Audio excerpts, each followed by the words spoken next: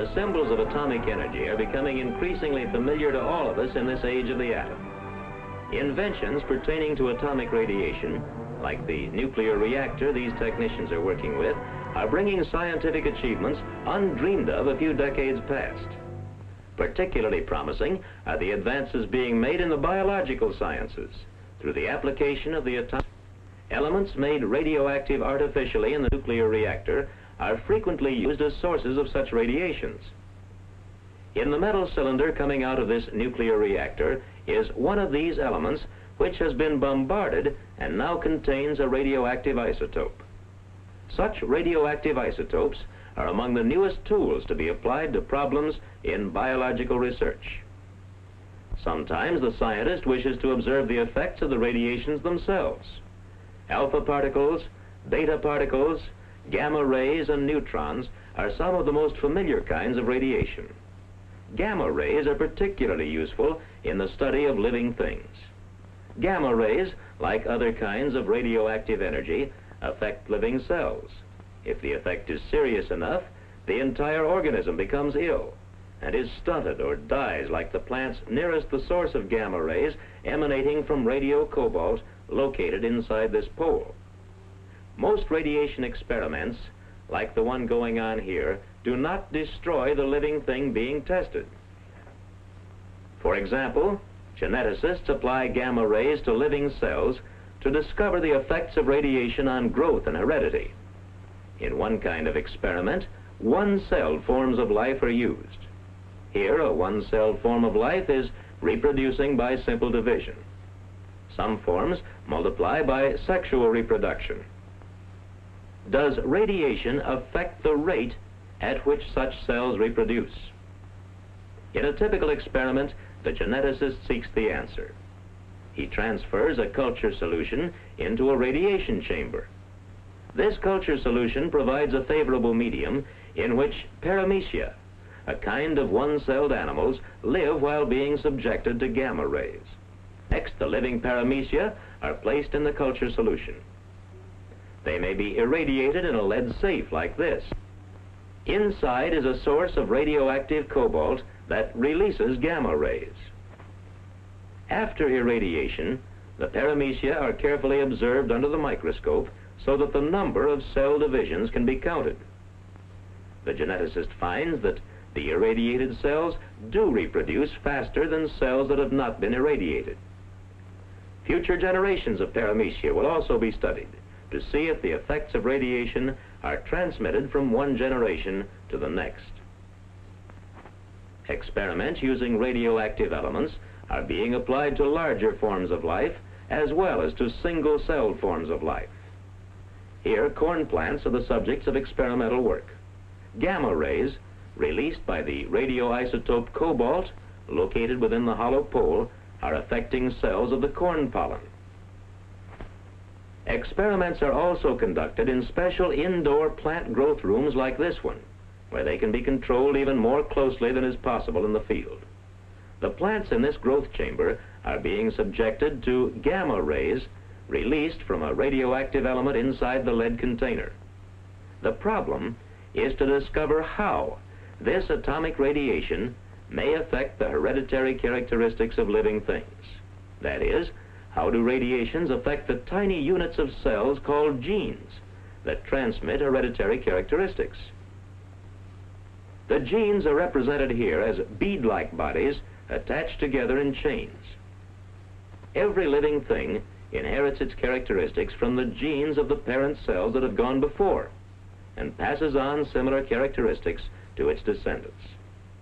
Atomic radiation interferes with the normal process by breaking apart the chromosomes which carry the inheritance genes. In this way, radiation affects inheritance. Chromosomes like these from corn are large enough to see under the microscope. Here, there are some detached fragments of chromosomes, particularly at the upper right, proving that the atomic bombardment they have undergone has caused some of them to break apart. The exact results of such changes on future generations can be discovered through growth experiments. The results may be beneficial. Already a strain of corn that is especially resistant to fungus disease has been produced through irradiation studies in which radiations have affected the parent plant cells. Scientists use radioisotopes in another entirely different kind of experiment, the tracer study. In this kind, they try to avoid any effects of the radiations themselves. For example, in this experiment, plants called algae are being given radioactive carbon dioxide in order to study the food-making process carried on by their cells. Here is another research project in which radioactive carbon dioxide is used. The plants in this special greenhouse live in an atmosphere rich in radioactive carbon dioxide. Radioactive carbon dioxide is piped into the greenhouse. One objective is to produce quantities of radioactive plant products such as drugs, which can be used in experiments that may lead to improved techniques of diagnosing and treating some human diseases. Animals as well as plants may be the subjects of research using atomic radiation studies in nutrition often depend on the use of rats. Here, the experimenter uses a rat that has been fed radioactive table sugar. The experimenter places the rat in a special container where all of its waste products can be collected for analysis. By knowing how much radioactive sugar was fed and how much radioactive waste is given off, the physiologist may discover more facts about the chemical processes that take place when a carbohydrate is digested and used. Similar experiments may be performed to study the use of proteins, fats, or other types of food. The distribution of an element in an animal's body can also be tested using rats. In a typical experiment, blood is taken from a rat previously injected with radioactive iron. The blood will be tested for radioactivity to find how much of the radio iron is still present. To do this, the iron is removed from the blood sample and electroplated onto a small metal ring called a planchet.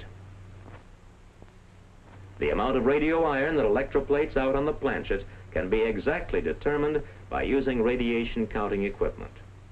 Based on such experiments, the dosages and techniques of using radio iron for treating disease may be perfected. Much of the research in biology is done in the hope of contributing to the welfare of humans. This is particularly true in the study of diseases like cancer.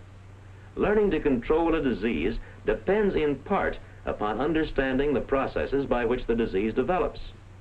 In cancer, animal experimentation is especially helpful. Experiments are planned to study how cancer develops. To do this, cancer may artificially be induced in animals through excessive exposure to radioactivity. Here, beads containing a radioactive isotope are strapped to the rat's body. The radiations released cause the rat to develop cancer. Other experiments are devised to study techniques of treating cancer. One technique employs the cyclotron, a machine that can produce a stream of extremely fast-moving atomic particles. In this case, a beam of radiations called deuterons is used. The treatment is given in a specially shielded room called a deuteron cave. The treatment depends upon focusing a narrow pencil-like stream of deuteron particles on the tumor. From time to time, the rat is turned so that the tumor is affected from different directions. The tumor receives a much larger amount of radiation than any of the surrounding tissue. In this way, the effects of radiations can be beneficial to the organism as a whole. Experiments of this type seem promising, but such treatments are not applied to humans until they have been thoroughly tested on animals. Radiobiologists use sources of radioactivity for internal human use as well as external use. Here, a liquid containing a radioactive isotope is being prepared for human use. Radioactive atoms in the solution will attack the cancer from within the body. Safeguards are continually being perfected to avoid damaging the healthy tissues of patients or those administering the treatment. Since atomic radiation improperly used may be extremely dangerous, much research has been done to discover the most effective protective measures. In league with physical scientists, biologists are learning how best to protect humans from dangerous amounts of radiation protective clothing, barriers made of radiation-resistant materials, remote control equipment, and medical tests are some of the measures developed through experimentation to guard against harmful exposure.